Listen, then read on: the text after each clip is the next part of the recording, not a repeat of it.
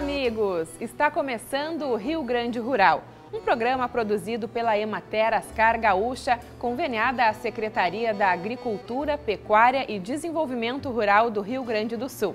Nessa edição você vai ver 21ª Expo Direto Cotrijal, a maior feira do agronegócio do Rio Grande do Sul e uma das maiores da América Latina, é realizada em Não Me Toque. ProMilho RS, Programa Estadual de Produção e Qualidade do Milho, fortalece a cadeia produtiva do grão no estado. Emater lança aplicativo para simplificar a coleta de informações sobre inspeção de pulverizadores agrícolas. Em Bozano, estudantes constroem um meliponário no pomar da escola. No quadro Janela Rural, um processo biológico que aumenta a produtividade da soja. E na cozinha show da Emater na Expo Direto, aprenda a fazer a caponata de berinjela. A Expo Direto Cotrijal, considerada a maior feira do agronegócio do Rio Grande do Sul e uma das maiores da América Latina, foi realizada em Não Me Toque.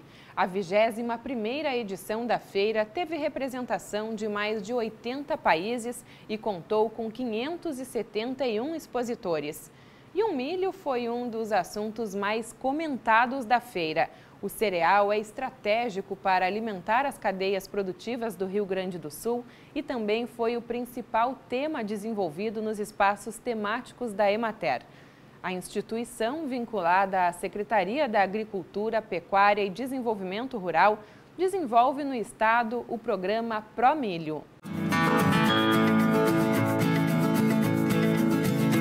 A maior feira do agronegócio do Rio Grande do Sul abriu espaço para os pequenos agricultores. Que a senhora tem a dizer para esse segmento que também é importante para o Brasil? Olha, esse segmento eu acho que foi o segmento mais importante nesse primeiro ano do governo do presidente Jair Bolsonaro no Ministério da Agricultura. Nós pudemos alocar muitos recursos, 30% dos recursos do Plano Safra, que ainda está em vigência, foi. É, foi é, no primeiro, nos dois primeiros meses ele foi tomado pelos, pelos produtores é, da agricultura familiar. Esse dinheiro acabou, nós realocamos em dezembro 800 milhões de reais e agora, esse, é, no, em janeiro, nós conseguimos passar um dinheiro novo para o Plano Safra para os pequenos agricultores de um bilhão. Nos cinco dias de Expo Direto, na cidade de Não Me Toque, um assunto predominou. O milho é, sem dúvida nenhuma, um dos pontos altos aí da nossa iniciativa. Toda semana vamos estar trabalhando aí junto com os nossos produtores e as entidades para acompanhar o progresso do Promilho. Que nada mais é do que trabalhar toda a cadeia produtiva, né? a cadeia do milho, é, como um todo, desde a questão de solos, irrigação, armazenagem, questão do crédito, da mitigação de risco. Lançado no começo de fevereiro para reduzir o déficit de 2 milhões de toneladas de milho no estado, o Promilho foi destaque no espaço da Emater. O, o programa vem trazer para a Emater aquilo que está no DNA da Emater.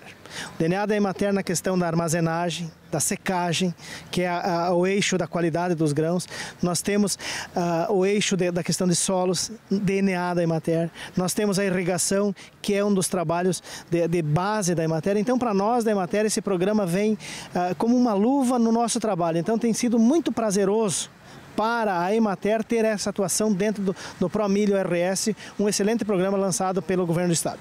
Bons rendimentos começam no solo, diz o técnico da Emater. O milho ele é um importante estruturador do solo, né? Então ele deixa vários legados para as culturas que vierem posterior, inclusive para a soja que vier no verão, no verão seguinte, ele vai deixar o legado da estrutura do solo. No caso da soja, que é, uma, que é cultivada num solo na ausência de milho, uh, onde se trabalha por 10, 15, 20 anos até somente com soja no verão e uma, uma cobertura escassa no inverno, o que, que acontece? A tendência é que haja a presença de raízes superficiais. Por quê? Porque não tem raízes profundas, agressivas, que venham a construir essa porosidade, essa qualidade física que nós estamos falando. Consequentemente, o solo fica restrito aos primeiros 7, 8 centímetros. As raízes de soja não conseguem aprofundar. No caso de um soja rotacionado com milho, que é um dos fatores que condicionam essa boa estrutura, a situação é diferente. Aqui a gente está trazendo uma situação ideal, onde temos um solo poroso, um solo bem estruturado, um solo profundo, e as plantas de rotação de culturas, como o milho, né, eles propiciam essa condição. Então a soja ela pode chegar até mais de um metro de profundidade de raízes, e com isso a, a cultura ela vai ter, uh, se cada centímetro é um milímetro de água, a cultura vai ter mais de 100 milímetros de água aí, né? Então com certeza vários dias a planta ela vai conseguir seguir ter o seu, manter o seu potencial produtivo né, sem uh, grandes perdas na, na, produtividade. Então o milho ele é fundamental para a estruturação do solo e deixa um importante legado para as culturas que venham a seguir, uh, seja no inverno, seja no verão, dali um ano, o que é o caso da cultura da soja, que vem em rotação com o milho. Essas bolinhas brancas aqui que a gente está vendo é risóbio? É, as bolinhas são os risóbios, né, que fazem a fixação biológica do nitrogênio é um, um, insumo extremamente barato, né? O produtor ele, ele deve fazer essa inoculação lá no momento da semeadura e ao longo agora no final do ciclo ele já está em senescência, em senescência os nódulos já estão se soltando, né? É, mas ao longo do ciclo vegetativo, principalmente eles captam nitrogênio do ar, trazem para a planta. O milho também precisa de adubo e de água. Irrigação é fundamental. Com certeza, nesses anos de estiagem, ela é fundamental para uma garantia de renda. Mesmo com a estiagem, a gente tem uma garantia de, de alguns números positivos, né? Então isso faz com que o agricultor tenha uma estabilidade de produção.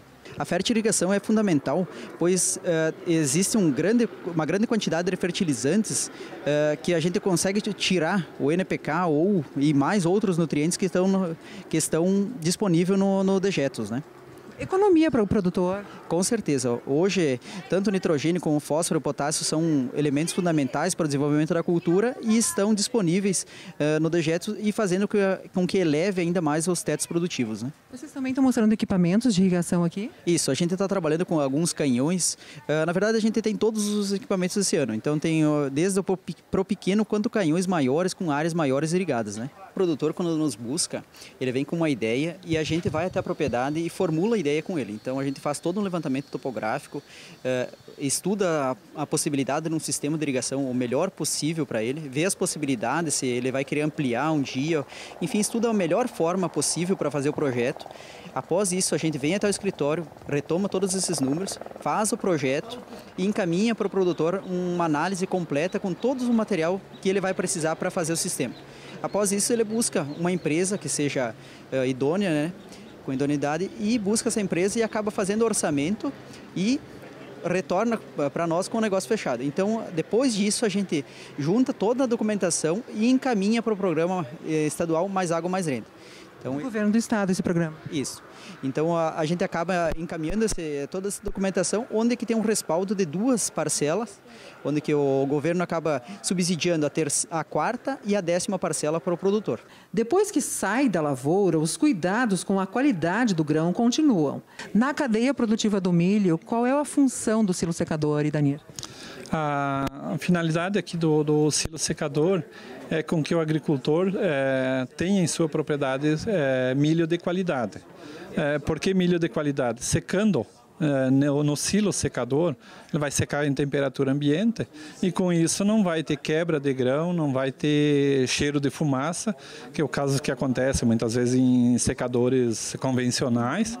E e a, a própria coloração do, do, produto, né? A gente está vendo aqui, né? Isso. Pela, pela secagem com ar, temperatura ambiente, então não vai ter é, mudança de cor do, do produto, né? É, então, para o agricultor tem inúmeras vantagens esse sistema de secagem e armazenagem. O silo secador é uma tecnologia que cabe em todos os bolsos, né? Exatamente, desde o do pequeno até o grande. É, inclusive aqui a gente tem para até, estamos mostrando aqui, até 60 mil sacos. Né? Então, daquele agricultor que produz lá seus 100 sacos, até 60 mil sacos a gente tem é, estrutura ou tem condições de, de armazenar. Então, do pequeno ao grande é, tem é, estrutura para armazenar o grão na, na, sua propriedade. Este projeto que a Imater apresenta, basicamente, ele tem que ter que estrutura, o silo secador? Ah, o silo, né, onde o produto é armazenado, né, ah, e eu chamo de, de, do coração do sistema, que é o ventilador. Então, esse ventilador ele é dimensionado de acordo com a, a capacidade ou com a quantidade de grãos que vai dentro do silo. É um cálculo sofisticado, não pode ser feito de qualquer jeito. Isso, tem um programa, um programa de computador para a gente entender mais fácil, né? Que ele, que ele dá esses cálculos. Seu Alcides, do município de Casca, tem silo secador em casa. Qual a vantagem? A vantagem é que tu colhe ele com uma determinada umidade, tu joga lá dentro e está em casa, não precisa de, de frete, não precisa de transporte nenhum, né? O milho também virou assunto durante este café servido pela Emater para a imprensa. Em meio aos doces, a Emater anunciou uma amarga projeção de safra.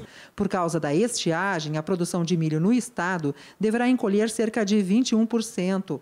Ao invés das 5 milhões e 900 mil toneladas, os produtores deverão colher algo em torno de 4 milhões e 600 mil toneladas do grão. Nós montamos um comitê para acompanhar toda a semana os números da Emater com as estimativas da Secretaria. Nós temos a questão das estiagens que são recorrentes no estado do Rio Grande do Sul e nós temos alternativas. Tem uma situação ideal que seria a irrigação, quer dizer, você tem o controle, e tem a situação que nós temos que mitigar as perdas, minimizar o impacto. E aí são ação de solos, cobertura de solos, rotação de cultura, são estratégias uh, que são adotadas pelos produtores para que você minimize quando você tem as estiagens no Rio Grande do Sul, que elas são recorrentes.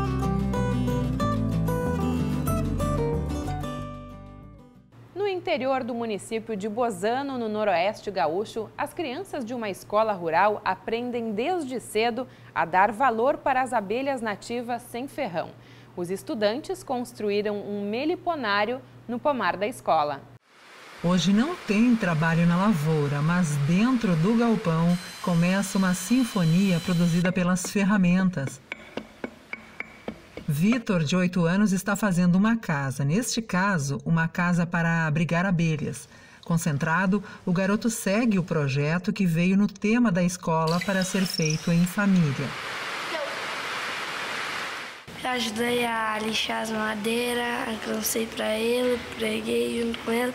Hoje, na verdade, foi feito todo o processo numa, numa vez só. Foi encerrada a madeira, pregado, dado uma lixada e tá ali a casinha pronta. Menos de meia hora tá pronta a casinha, né?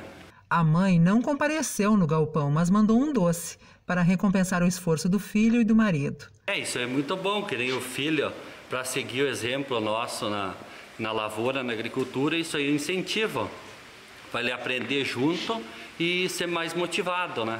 Depois de pronta, a caixa de abelha é trazida para a Escola São Pio X, única escola de Bozano a funcionar no meio rural. A caixa de abelha do Vitor se junta a muitas outras feitas pelos colegas de escola. As caixas vão inaugurar o meliponário da Escola São Pio X. No local serão instalados vários enxames de abelhas sem ferrão, nativas do Brasil. Todo esse processo de implantação do meliponário na nossa escola começou quando nós fomos procurados pela Gisiane Bogorni, que trabalha na Imater de Bozano, e ela nos fez essa proposta, nos trouxe uh, alguns folders, nos explicou o que, que seria um meliponário, que é o cultivo das meliponas, que já que são uh, abelhas sem ferrão, nós poderíamos fazer no ambiente escolar, né? E eu acredito que ela fez todo esse processo também por saber que a nossa escola é uma escola do campo e que a nossa escola trabalha com uh, a agroecologia. Nós temos como carro-chefe na nossa escola a agroecologia. Elas estavam procurando então um projeto que visasse o meio ambiente. E as abelhas, através das melíponas, que são as abelhas sem ferrão, né, uh, se enquadrariam muito bem para a área da sustentabilidade, uh, visto que as abelhas elas têm grande importância na polinização, uh, 75% dos cultivos agrícolas dependem da polinização das abelhas e também das matas, árvores nativas, né, que são dependentes da polinização. Sem falar no mel, que é um mel muito gostoso e medicinal, que as crianças, os alunos vão poder levar para casa para consumir com a sua família. E a ideia também é levar essas caixas, não só ter as caixas aqui no meliponário da escola, mas levar para casa, fazer essas caixas em casa e criar esse amor, essa paixão pela cultura da abelha sem ferrão. As caixas vazias dos estudantes irão receber novos moradores. Os enxames, que há poucas semanas haviam se instalado em garrafas PET instaladas pela Emater no tronco das árvores, hoje serão transportados para as novas casinhas. Está aqui em cima o ninho dela. né? Foi bem para cima lá porque o gargalo é estreito aqui embaixo. Então ela foi lá para cima fazer ninho. Essas ceras aqui te bota tudo para dentro. É trabalho delas, vamos privilegiar elas então. E esse mel, se não derrama, não dá meleca, vocês colocam aqui dentro. Se ele começar a vazar, não coloca. Mel vazando chama forídeo, chama inimigo das abelhas. A caixa, tanto cor, como madeira, como modelo, não interfere muito. O importante para as abelhas, que eu conversei com os alunos, é a espessura da madeira. Quando eu falo em espessura de madeira, eu coloco que ela tem que ter no mínimo 3 centímetros de espessura. O máximo não existe porque o tronco da árvore ele tem uma espessura muito grande, onde a abelha naturalmente se abriga. Então, pelo menos 3 centímetros aqui no Rio Grande do Sul, nós temos ventos frios. Uh, a partir disso, uh, qualquer medida, 3, 4, 5 de espessura, sem problemas. Aí a questão econômica, que a madeira mais grossa é mais cara. E assim, o pomar da escola se transforma em um grande laboratório, onde crianças e adultos têm uma rara oportunidade provar o doce mel das abelhas nativas do Brasil. O aluno pode se aproximar, pode olhar o enxame, pode olhar a abelha, pode tocar o enxame com o dedinho, enfim, pode conhecer de perto, provar o mel sem maiores problemas. Aos poucos, as crianças vão colocando as caixas no meliponário. Antes de fixar a residência do seu enxame, Vitor pensou no bem-estar das abelhas.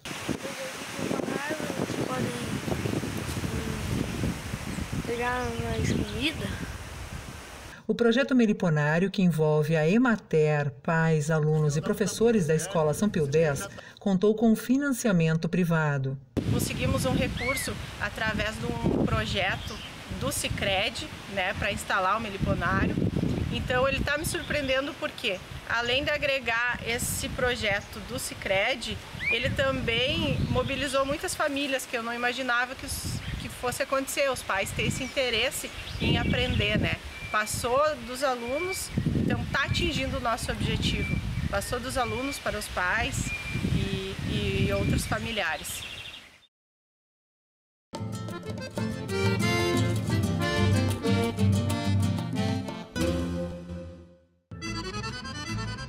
Arroz em casca, saco de 50 quilos, R$ 48,83. Variação negativa de 1,43%. Feijão, saco de 60 quilos, R$ 141,39, aumento de 0,99%. Milho, saco de 60 quilos, R$ 43,96, queda de 0,09%. Soja, saco de 60 quilos, 80 reais, variação positiva de 1,48%. Sorgo granífero, saco de 60 quilos, R$ 36,27, queda de 0,36%. Trigo, saco de 60 quilos, R$ 44,48, aumento de 0,27%. Depois do intervalo, Emater lança aplicativo para simplificar a coleta de informações sobre inspeção de pulverizadores agrícolas. A gente já volta.